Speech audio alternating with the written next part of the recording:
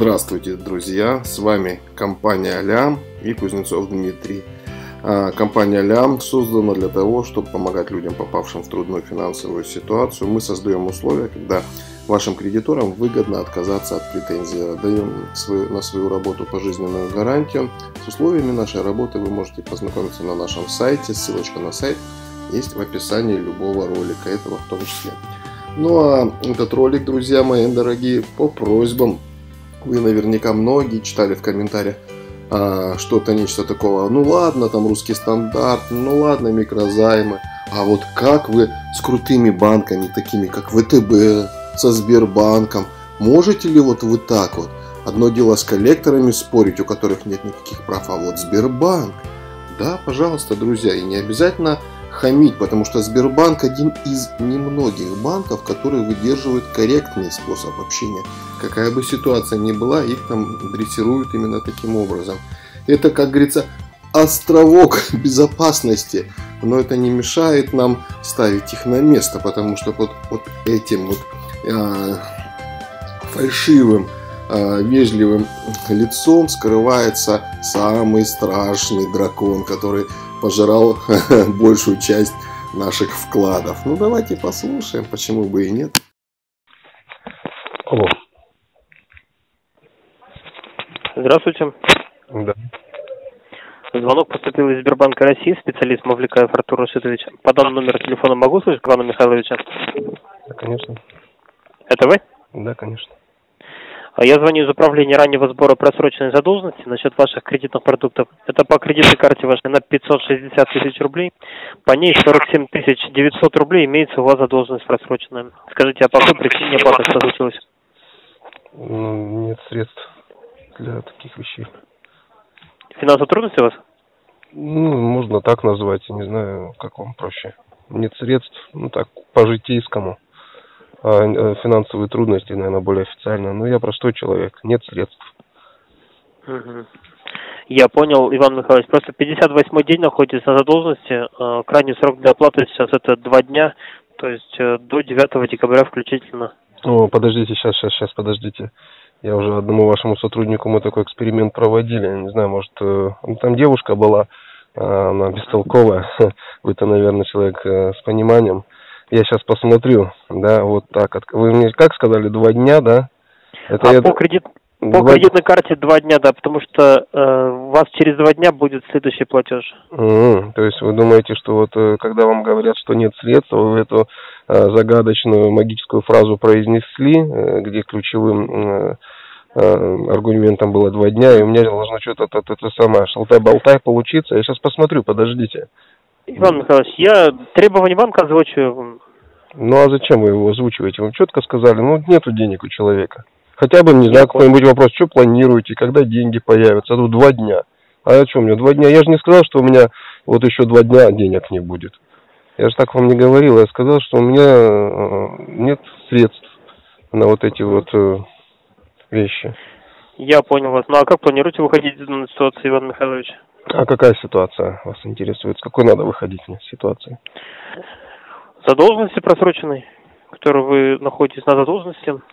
Ну, то есть, э, если так э, выражаясь, да, э, переходя на официальный тон, решать эту проблему, да, вы так хотели сказать? Ну, можно так сказать, Иван Михайлович, просто у вас очень длительный срок, у вас еще кредит потребительский на 80 тысяч рублей. Тоже да, задолженность 5 тысяч да, рублей. Проблем, просто видите, чтобы решать проблему, нужно проблему разглядеть. А в моем случае я проблемы это не считаю. Все, я вас слышал. Иван Михайлович, скажите, пожалуйста, то есть в течение двух дней, то есть я озвучу вам требования банка, в течение двух дней необходимо оплату произвести, то есть вы оплату внесете или нет? Я хоть и человек простой, но я постоянно инженером работаю, а сейчас э, Э, старшим менеджером, я привык требования видеть на бумаге. Угу. Да. Я вас услышал. То есть по телефону вы не хотите договариваться, да? А я не знаю, с кем я разговариваю. Понял вас. Хорошо. Э, также по потребительскому кредиту 37 день находитесь на задолженности. По ней банк может предоставить э, досрочку до 13 декабря включительно. А вдруг это неправда? Неправда, что именно? Ну, то, что вы говорите. Начиная с того, что вы из банка звоните.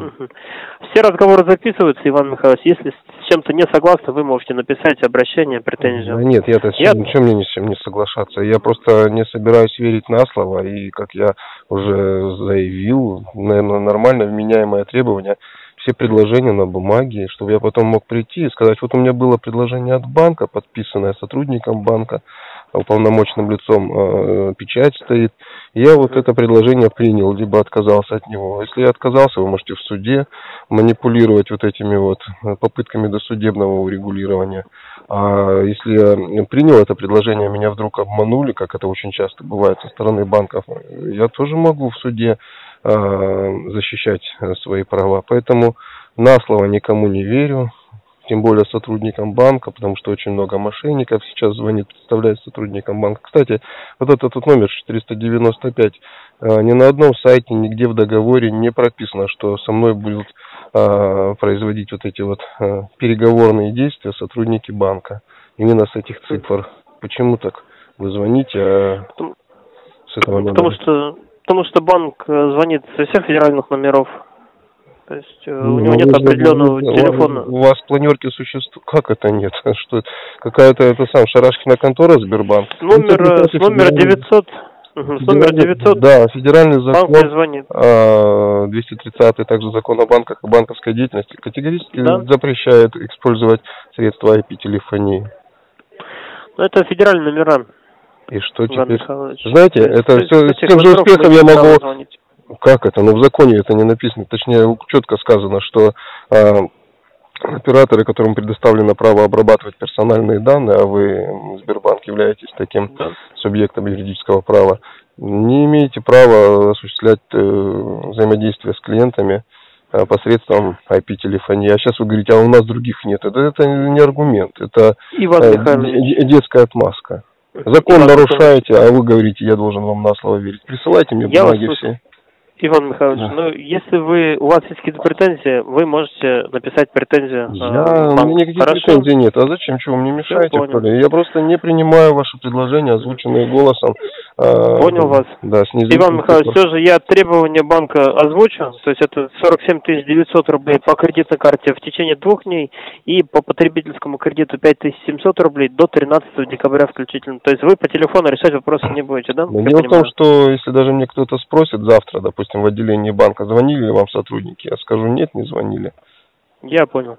Да. А, должен Потому вас проинформировать о том, что сейчас у вас начисляются неустойки, соответственно, сумма задолженности будет расти, и информация в бюро кредитных историй также будет поступать. То она есть, уже, да, да, она уже там давным-давно поступила. И Я понял.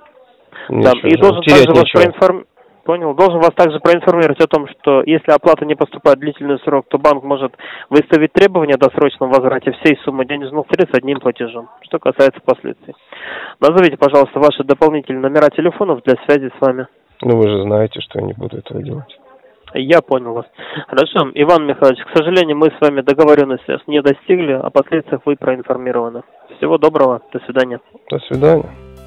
Ну что, друзья, какие выводы мы можем, скажем так, быстренько сделать из того, что мы с вами сейчас услышали? Ну, во-первых, а, если, как говорится, обратиться к моему опыту, к опыту компании Алям, то мы очень часто, практически по несколько раз в день, слышим от наших новых клиентов, ну, которые заходят под юридическую защиту, что вот, я платил, платил по каким-то там акциям, мне сообщали там про акции, я оплатил, а в итоге, когда пришел в банк, э, никто никакие акции не знает, не слышал, и мы сразу задаем вопрос, откуда вы узнали по, про акцию. По телефону сказали, смс пришла, все что угодно. Они же сказали, что не из банка звонят.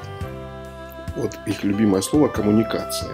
Так вот, вы не обязаны вступать в никакие коммуникации, если вы не хотите этого делать. Кто-то говорит, вот они могут эксплуатировать потом в, э, в суде то, что вы, э, я, мол, уходил от общения, скрывался и так далее. Друзья мои, включайте мозги. Где-нибудь в законе покажите мне э, хотя бы строчку, которая обязывает вас иметь сотовый телефон в данный конкретный момент времени. Даже если вы указали какие-то цифры при заключении договора, вы можете через секунду эти эту трубку выбросить, да, и никто вас за это не может осуждать, уж тем более по закону наказывать. А, что еще? Сбербанк, МФО, коллекторы, все что угодно. Как бы круто не звучало, это всего лишь навсего договорные отношения. Вы вступили в гражданско-правовые отношения между сторонами. И все. Нарушили договор. Звучит страшнее, когда ты взял, ты мне должен, ты должник. На это и напирают. А на самом деле ни один а, взыскатель не скажет, здравствуйте, мы с вами заключили договор, и вы нарушили пункт договора. Такой-то, такой-то. Потому что это как-то слабенько звучит. Естественно, они напирают на больные, как говорится, места, на а, те точки, которые э, свойственны нашему российскому менталитету. А, чувство раба, чувство должника, чувство а, жертвы. Вот на что они давят. Вежливо, грубо, как угодно. А, но вот как есть, так и есть. Друзья, а, чтобы спокойно себя чувствовать, я всегда предлагаю вам подписаться на наш канал, если вы этого еще не сделали. Почитайте комментарии, и вы убедитесь в моей правоте. Очень многие, кто вот с эмоциями не может справиться, пишут и говорят а, слова благодарности.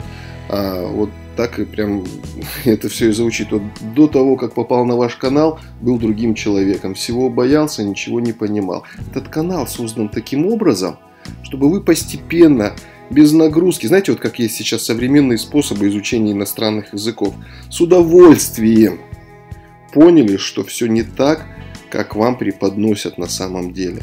Все по-другому, все намного веселее, интереснее и проще. Но это не значит, можно, конечно, несколько слов выучить того самого иностранного языка, но вы никогда в жизни не скажете, что вы владеете полностью языком. А, я почему это говорю? Потому что все-таки правильнее углубиться в ситуацию. И здесь нужно полностью в документальном формате вашу позицию зафиксировать. Ну и здесь, конечно, можно самому а, вот в эту глубь углубиться, вот такой каламбур. Можно обратиться к специалистам компании Алиан. Мы работаем, вы можете узнать, а, пройдя по ссылочке в описании ролика на наш сайт. На сайте есть видеопрезентация все подробнейшим образом расписано. Сколько стоит, как мы работаем, сколько времени э, это занимает. И не просто какие-то пустые слова, типа мы создадим условия, когда вашему кредитору будет выгодно отказаться от претензий. А там четко, конкретно рассказывается, как мы по пунктам это сделаем. И почему мы даем вам пожизненную гарантию. И почему это выгодно в сотни раз – даже там какую-то кратность нельзя приводить. Просто это действительно выгоднее в финансовом плане и в моральном, нежели платить в банк бесконечные деньги, страдать, думать о том, что вы кому-то что-то должны. Но прежде я вам предлагаю все-таки послушать пару десяточков роликов и успокоиться. Это совершенно бесплатно. После чего вы, конечно же, можете уже взвесить все за и против и сделать тот самый решительный и самый правильный, может быть, за последнее время в вашей жизни шаг. Подписывайтесь на канал, если вы этого еще не сделали, ставьте лайки, пишите комментарии, поделитесь в соцсетях этим роликом, вступайте в группу ВКонтакте, ссылка на группу есть в описании ролика. С вами был Кузнецов Дмитрий, Центр юридической защиты, компания Ля. Всего вам доброго, друзья. До свидания.